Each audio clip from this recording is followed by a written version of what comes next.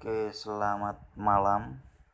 Ya, hari ini saya buat malam-malam ya. Tadi saya melihat komentar ada yang tanya, kok APK-nya nggak bisa dibuil gitu ya. Oke, jadi di sini kita coba memakai apa membuat aplikasi yang sederhana aja untuk mencoba uh, apa work enggak aplikasi yang kita buat itu ya. Oke kita langsung saja kita buat. Kita masuk ke skateboard kita. Kita buat web view aja ya. Kalau web view itu kita bisa berjalan dengan normal nah itu nanti kita bisa membuat aplikasi yang sesuai yang kita inginkan untuk apa? Untuk AdMob Noyul AdMob ya. Oke. Jadi ini untuk percobaan. Tadi ada yang nggak bisa build aplikasi ya. Jadi kita tesnya ini aja. Oke. Kita tambah ya. Tes build. Oke ya. Ini pengaturan ini dan sebagainya nggak usah ya karena kita hanya untuk uji coba ya.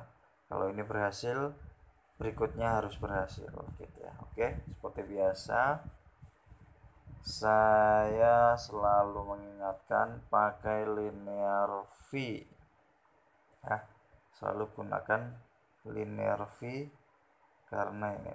Nah, oke baru saya tambahkan linear H. Oke tinggi saya buat 70 saja.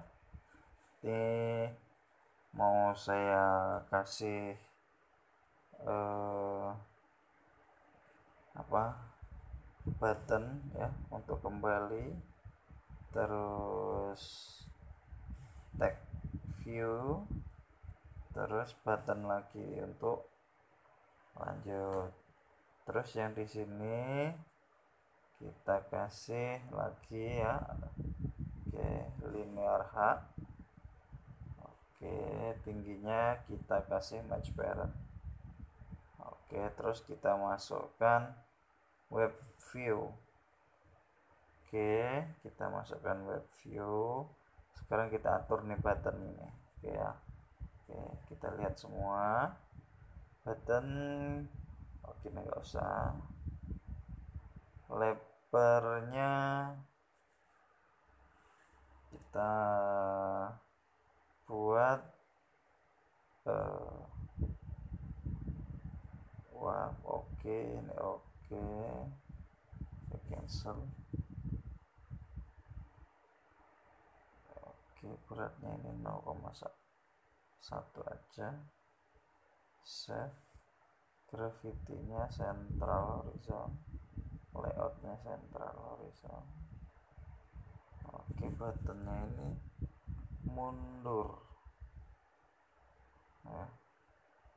Mun mundur oke. Teksnya kita bisa besarkan dikit oke. Mundur terus ini. Text view oke. Oke ini kita nolkan saja. Boleh. Gravity-nya sentral apa? Horizontal vertikal ya untuk berada di tengah. Ini beratnya tetap satu ya. Biar bisa bagi nanti. Oke tagnya kita lihat. Tes web view. Will save.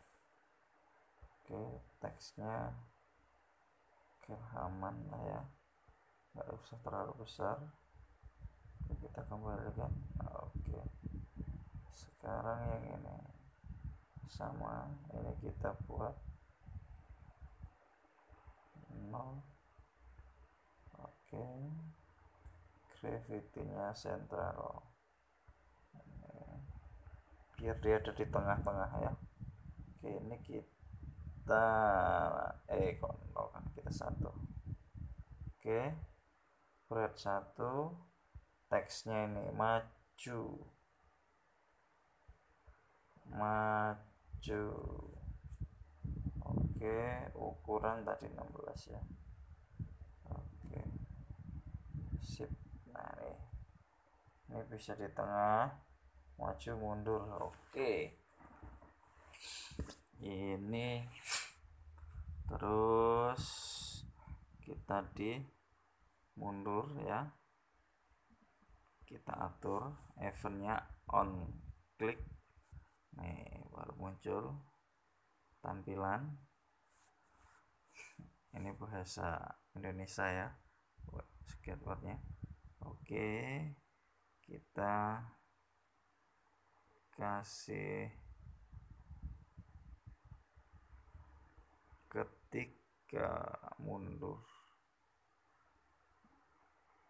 oh ini kontrol kontrol. Ah ini ya. Kontrolnya kita ambil yang jika. Nah ini ya ambil ke kontrolnya. Jika nah jika uh, web view 1 boleh mundur nih bisa mundur. Nah ini ya bacanya gini. Jika web view 1 bisa mundur maka nah, ambil ini. Web view 1 mundur. Gitu oke. Ya. Satu. Nah sekarang yang maju. Event lagi.